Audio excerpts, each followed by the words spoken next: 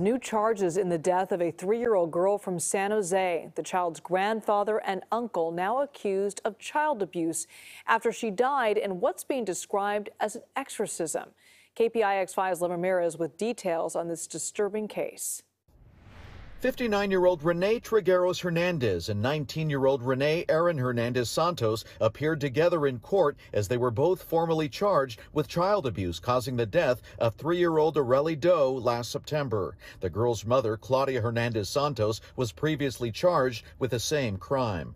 All three defendants were involved in the ongoing abuse of Areli Doe on September 24th. So while they each did specific different physical acts. They all were involved in this abuse. The death happened inside a small church located behind this house on South 2nd Street in San Jose. A statement of facts released by the district attorney's office states the defendants believe the girl was possessed by a demon because she would sometimes wake up at night and cry or scream.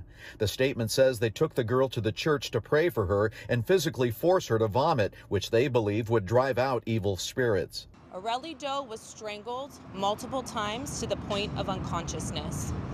Areli Doe had fingers shoved down her throat to the point where she had multiple injuries to her mouth and to her tongue. Areli Doe had pressure put on her body, on her tor torso from the front and back with so much force applied that she lost consciousness.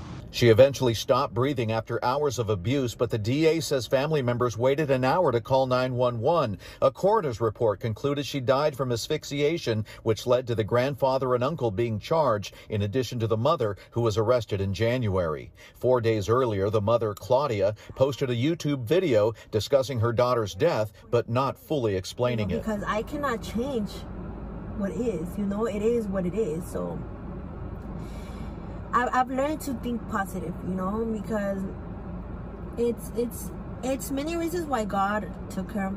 Public defenders assigned to the case did not want to comment. All three defendants will be back in court to enter their pleas in June. In San Jose, Len Ramirez, KPIX 5.